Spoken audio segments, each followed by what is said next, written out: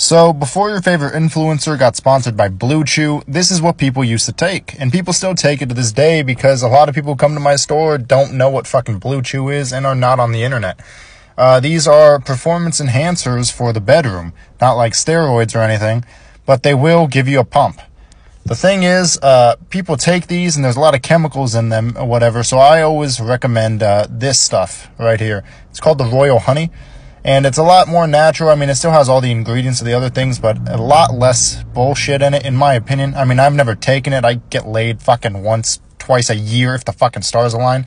But uh, yeah, sponsor me.